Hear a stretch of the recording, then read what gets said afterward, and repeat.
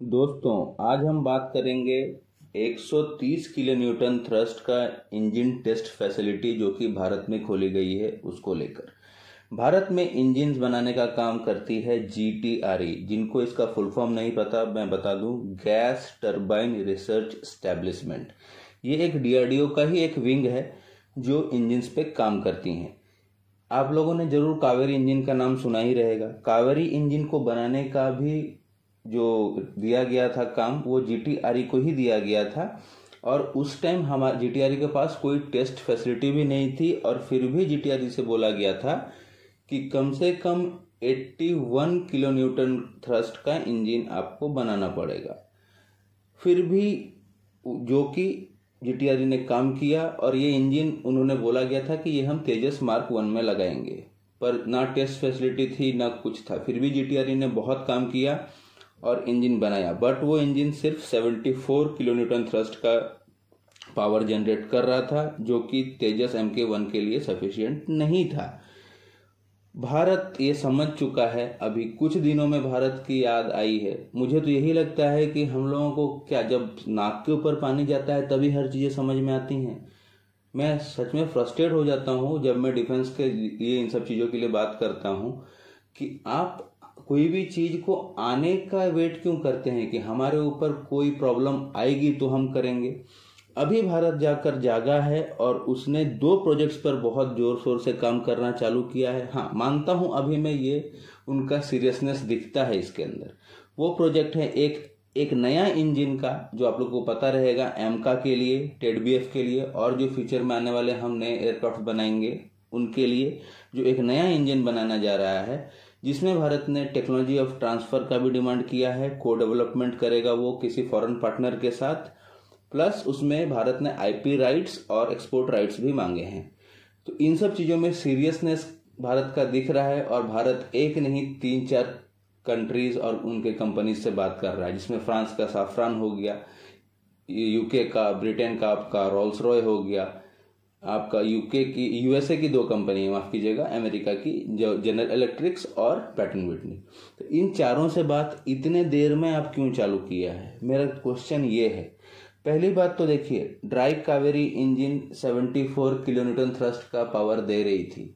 अगर मेरा, मैं अनुमान लगाऊँ तो इसको आप पहले ही रिफाइन करके ट्रेनर जेट्स वगैरह जो हम ट्रेनिंग के लिए यूज़ करेंगे, जो नए एयरफोर्स में बंदे आते हैं, उनमें ये इतना सफिशियंट रहता है पावर इंजन का, आप उसमें लगा सकते थे। लेकिन भारत ने कावेरी इंजन को ही ड्रॉप कर दिया, एकदम डेड एंड में डाल दिया है, उसकी फंडिंग्स भी बहुत कम जाती है। तो आप समझ के चलिए, ये कौन सी सही बात है?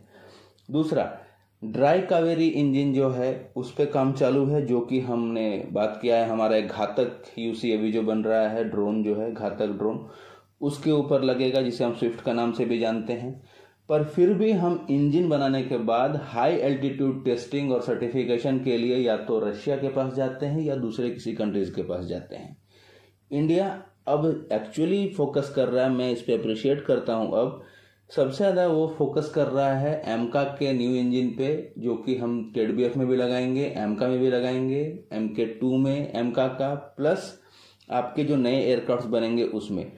तो ये इंजन इम्पोर्टेंट है। देखिए, दूसरे देश पर आप जब तक ये पहले आपको करना चाहिए था कोलोब्रेशन के साथ इंजन बनाने का, लेकिन आप लोगों ने कभी ध्यान दिया नहीं कि कहीं से भी हम ले लेंगे और चला लेंगे।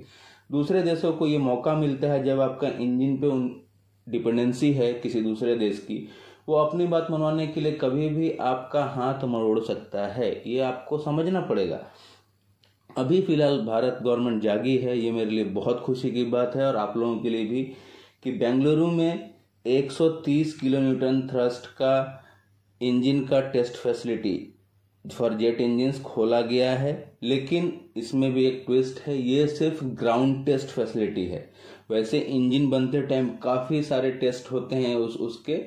उसमें से एक है ग्राउंड टेस्ट फैसिलिटी, जिसमें से 130 किलो न्यूटन तक के इंजन को वहाँ पे ग्राउंड टेस्टिंग किया जा सकता है और उसका डेटा कलेक्ट किया जा सकता है कुछ इम्प्रूवमेंट के लिए। लेकिन फिर से वही हो जाता है कि हमें वापस से हाई एल्टीट्यूड टेस्टिंग और आपकी सर्टिफिकेशंस के लिए और दूसरे टेस्ट के लिए हमें दूसरे देश पर निर्भर रहना पड़ेगा अभी भी, या तो वो रशिया है या फ्रांस है। इन्हीं दोनों जगह हम भेजते हैं अपने इंजन्स को सर्टिफाई होने के लिए और हाई एल्टीट्यूड टेस्टिंग के लिए। भारत को ये समझना पड़ेगा कि अगर आपको इंजन में भी आत्मनिर्भर बनना है, जैसे हम एमका के लिए बोल रहे हैं तो इसमें भी आपको चाहिए रहेगा कि नियर फ्यूचर अगर आप खुद का ही एक नया इंजन डेवलप करते हैं तो आपके पास हर एक टेस्ट फैसिलिटी होनी चाहिए।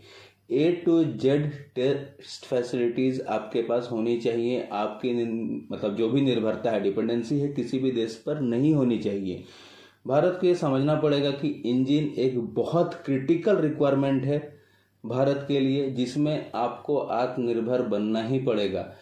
बसरते आप लोग बहुत देर से जागे हैं, हमारा भारत, लेकिन खुशी की बात है, कम से कम जागे तो लेकिन अब चाहिए भारत को कि अपना इंफ्रास्ट्रक्चर्स पे खर्चा करे, जो इंजन्स बनाने में हो कोर मटेरियल में हो प्लस जो को डेवलपमेंट वाला नया इंजन का बात चल रहा है, उस पर जल्द से जल्द काम होना चाहिए क्योंकि ये जितना डिले होता जाएगा आप भी डिले होते जाएँगे। मेरे लिए मेरा कंट्री का सिक्योरिटी सबसे प्रायर होता है। बाद में मैं कुछ भी देखता हूँ। मैं ना मैं किसी पार्टी को सपोर्ट करता हूँ ना मैं किसी को करता हूँ। मेरे लिए मेरा डिफेंस इम्पोर्टेंट है। देश सिक्योर्ड है तो हम दिवाली मना सकते हैं मकर संक्रांति दि, होली दिवाली सब मना सकते हैं। नहीं है तो हम कुछ नहीं मना सकते हैं। इसके लिए भारत को ये समझना पड़ेगा। इंजन एक बहुत क्रिटिकल रोल प्ले करता है आपके आत्मनिर्भर भारत का प्रोग्राम में। आज आप जागे हैं, अच्छी बात है, पहले जाग जाते आप लोग तो और भी अच्छी बात थी। चलिए ठीक है, देर से ही जागे, लेकिन अब तो इस पर काफ़ी ज़ोर से काम कीजिए। सिर्फ़ एक ग्राउंड टेस्ट फैसिलिटी खोलने से नहीं होगा। आपको हर एक टाइप का टेस्ट फैसिलिटी भारत में खोलना पड़ेगा, जिसके द्वारा आप आत्मनिर्भर बन सके। और वो 130 किलो न्यूटन का जो आप थ्रस्ट का इंजन बनाना चाहते हैं, या 110 किलो न्यूटन थ्रस्ट का आप इंजन बनाना चाहते हैं भारत में जॉइंट कोलोब्रेशन में फॉरेन ओ के साथ तो वो आप जल्द से जल्द करें। कोई भी एक पार्टनर को ढूंढे जल्दी। हर किसी ने अपना ऑफ़र सबमिट कर दिया है आपके पास। रिव्यू में ही इतना टाइम जाता है और हर बार आप लोग की इलेक्शन आ गया, अभी नहीं करेंगे। सीट के पीछे भागते भागते देश की सुरक्षा आप लोग छोड़ देते हैं। मेरा प्रॉब्लम वो है, अगर आप सही काम कर रहे हैं तो कोई आपके ऊपर लाख उंगली उठा ले। आपको गलत नहीं साबित कर सकता है। ये तो हमारा देश का रिक्वायरमेंट है, हमारे आर्म फोर्सेस का रिक्वायरमेंट है। ओन इंजन होना चाहिए हमारे पास। आप कहाँ से लाएँगे फिर इंजन आप हर बार, हर महीना इलेक्शन रहते हैं हमारे इधर। हर पंद्रह, एक महीना, दो महीना में इलेक्शन आ जाते हैं। जितना त्यौहार नहीं होते हैं, उतना से तो आपने ज़्यादा हमारे देश में इलेक्शन हो जाते हैं। तो आप हर बार इलेक्शन के लिए रुकिएगा तो ये गलत बात है। ये सब चीज़ें प्रायोरिटी पे होनी चाहिए। इस पर नो पार्टी पॉलिटिक्स कुछ नहीं होना चाहिए। और मेरा एक ही मानना है, भारत को अभी मेन ज़रूरी है प्रॉपर ध्यान देना अपने इंफ्रास्ट्रक्चर पे। सिर्फ़ यही एक टेस्ट फैसिलिटी पे हम नहीं रुकना चाहते हैं।